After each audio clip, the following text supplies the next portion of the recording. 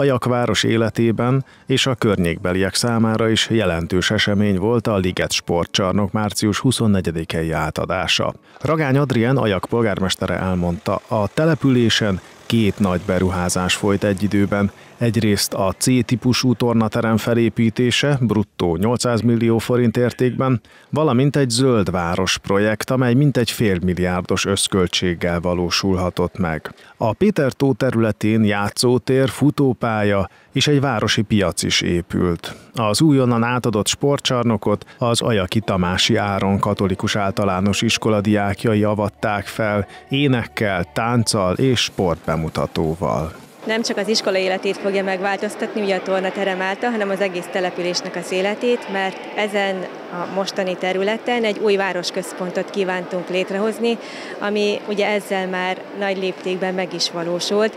Az iskola életében nagyon fontos egyébként ennek a tornateremnek a megléte, hiszen eddig a gyerekek egy nagyon kicsi tornateremben tudták csak a tornaórákat, illetőleg az edzéseket elvégezni.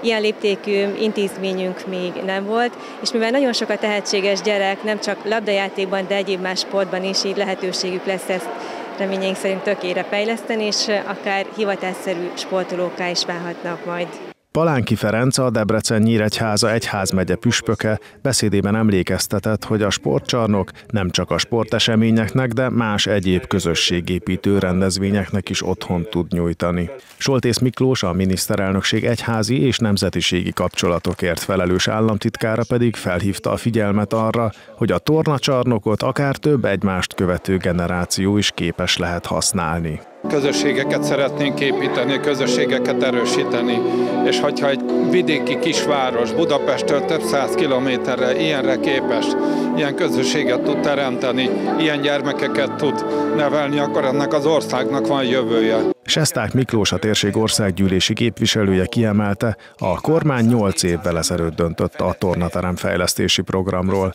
Azóta a régióban több tucatnyi intézmény tornacsarnokát tették alkalmassá arra, hogy több sportágat is kiszolgáljon.